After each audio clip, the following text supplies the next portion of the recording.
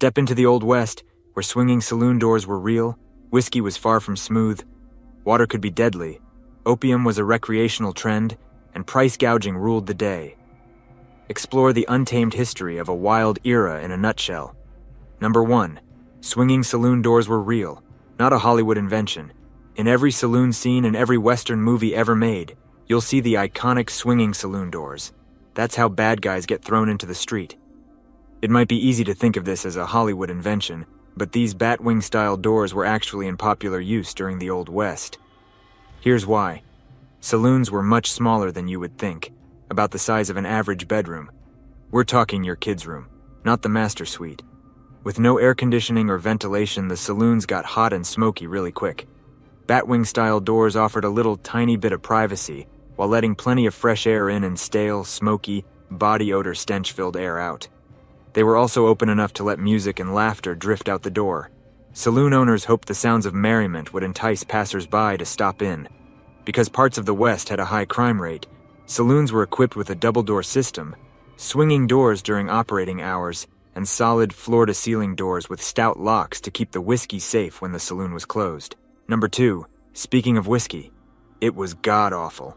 If you bellied up to the bar in the Old West and expected the bartender to pour you a glass of smooth Kentucky whiskey, you'd be sorely disappointed by the terrible swill you got instead. There were not a lot of laws regarding the content of alcoholic beverages back in those days, and let's be honest, no one would have obeyed them if there were. What saloons owners sold as whiskey was often some concoction of actual whiskey mixed with creek water, distilled molasses, grain alcohol, cider vinegar, fruit juice, axle grease, and Lord knows what else. No wonder Old West whiskey had nicknames like Tangle Leg, Coffin Varnish, Chain Lightning, Cactus Poison, Mountain Howitzer, and more. It wasn't until 1897 that the Bottled in Bond Act was passed, guaranteeing the contents and quality of whiskey. The Food and Drug Act of 1906 put further regulations on whiskey and other food and drinks. Boring. Number three, forget dysentery but don't drink the water. Fans of the 1980s computer game Oregon Trail will tell you that most pioneers in the Old West died of dysentery or rattlesnake bites. Not true. The leading cause of death for folks in the Old West was not dysentery, snake bites, shootouts with rival gunslingers, or attacks by Native Americans. Nope. It was cholera. Cholera is caused by waterborne bacteria that thrives in stagnant bodies of water, like ponds, puddles, and slow moving creeks.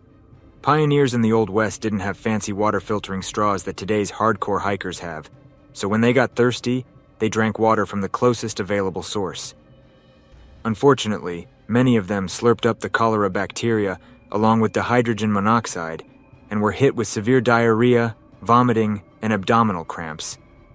Within 12 hours to a few days, the person was dead, often from dehydration.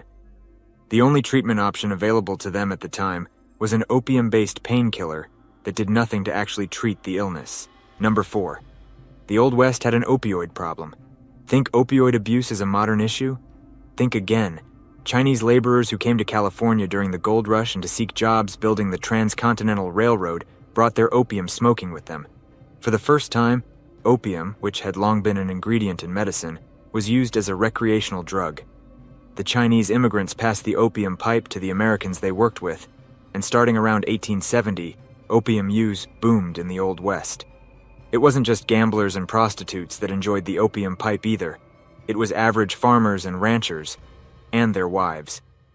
Here's a twist. Many of the estimated 250,000 opium addicts in the late 1890s vocally supported the temperance movement.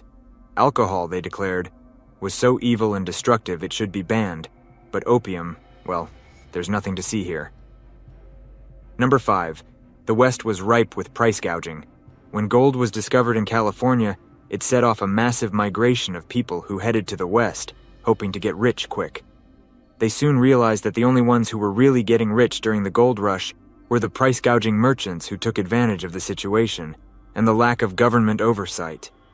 The cost of items sold at the gold rush camps were mind bogglingly high, and makes our current inflation problem seem trivial.